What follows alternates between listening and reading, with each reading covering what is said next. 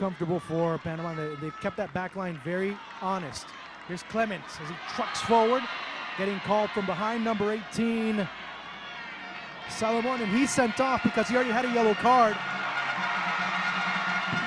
Not a very wise choice there by Widny Salomon.